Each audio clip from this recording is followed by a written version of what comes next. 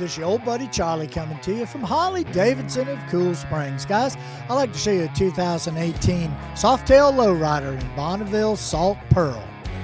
This motorcycle here, guys, features the 107 Milwaukee 8 motor, and it also features the FAB 28 polished stainless steel full exhaust. Yeah, this motorcycle is also featuring the custom stitched Saddlemen step up seat. Man, that thing is sharp. This Bonneville Salt Pearl is a gorgeous color. And right there on the tank are your gauges. And now we get to Big Al's bars and risers with extended brake and clutch cables. Memphis Shades Road Warrior fairing mounting kit and windshield with the color matched painted fairing.